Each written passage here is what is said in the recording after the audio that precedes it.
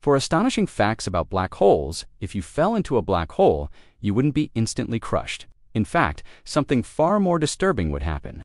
You would be stretched like spaghetti, while watching the entire universe age and die in seconds.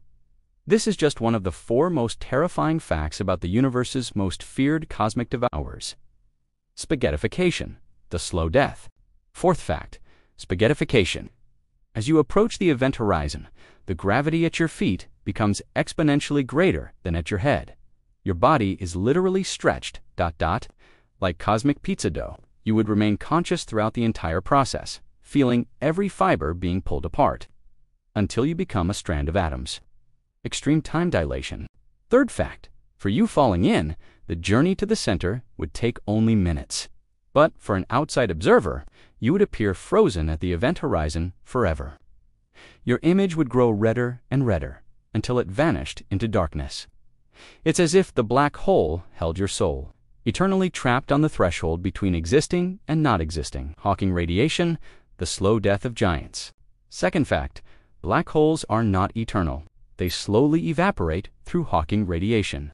But the smaller the black hole, the faster it dies. The largest ones take longer to evaporate than the current age of the universe, trillions upon trillions of years. Ironically, the smallest black holes die in explosions more violent than nuclear bombs. Sagittarius A, asterisk, the monster at the center.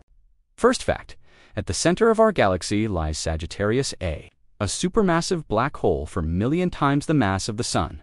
It devours entire stars and is only 26,000 light years away from us. Occasionally, it burps out jets of radiation that shoot across the galaxy. We are orbiting a dormant cosmic monster that could awaken at any moment. If these facts about the most feared cosmic predators have sparked your fascination with the dark side of the universe, leave a like and hit the bell icon. There's much more cosmic darkness for us to explore. See you in the next video.